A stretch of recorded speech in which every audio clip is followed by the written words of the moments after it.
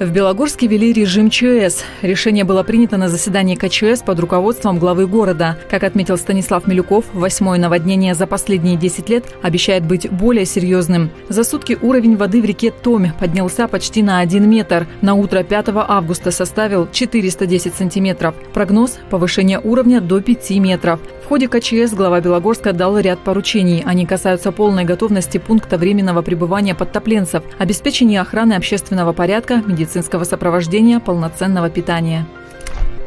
Сбросы на амурских гидроэлектростанциях не являются причиной подтопления населенных пунктов Амурской области. Об этом заявила компания «Русгидро». В ряде дальневосточных СМИ появилась информация о том, что именно ГЭС виновны в очередном наводнении. При этом отмечается, что Бурейская и Зейская ГЭС продолжают защищать приамурские регионы Дальнего Востока от пиков паводков, а пропуск воды через открытые шлюзы гораздо ниже притока в водохранилище, который в этом году является едва ли не аномальным.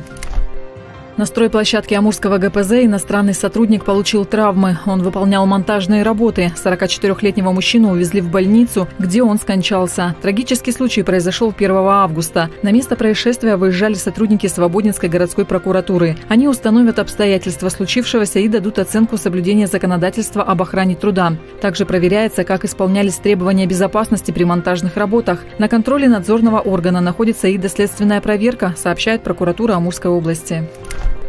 11 населенных пунктов Амурской области остались без транспортного сообщения. Потоплены 63 дома и 388 приусадебных участков. Паводковая ситуация на 5 августа опубликована на сайте регионального управления МЧС. Проведение аварийно-восстановительных работ задействована группировка общей численностью 527 человек, 180 единиц техники, в том числе 15 плав средств.